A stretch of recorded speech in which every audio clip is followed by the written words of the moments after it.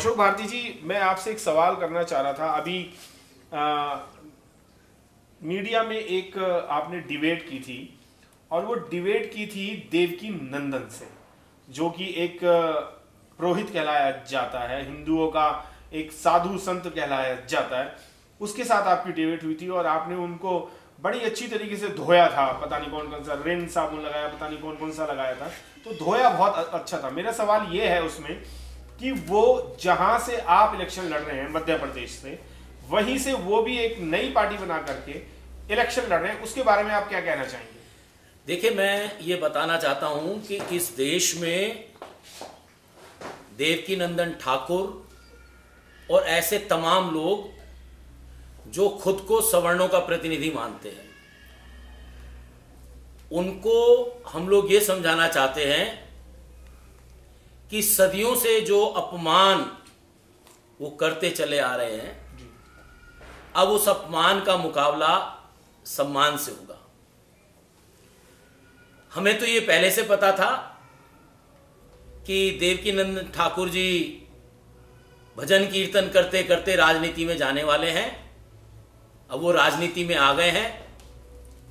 तो राजनीति में वो जरा हमें ये बता दें कि वो वसुधैव कुटुंब की बात करेंगे, या जो सवर्ण बंद उन्होंने किया था, वो सवर्ण बंद की बात करेंगे।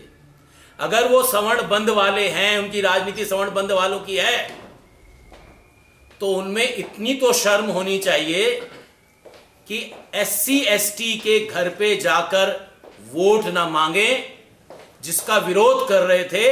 अगर उसके घर जाकर वोट मांगना है तो उससे पहले उन्हें चुल्लू भर पानी में डूब मरना चाहिए। सर अरे भाई जिनसे घंटा ढंग से नहीं बजाया जाता वो वोट कैसे मांगेंगे?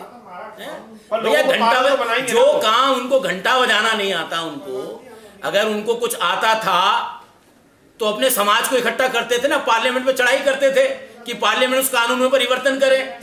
जब उनको ये नहीं पता कि क्या करना चाहिए क्या नहीं करना चाहिए तो चुनाव में राजनीति क्या करेंगे?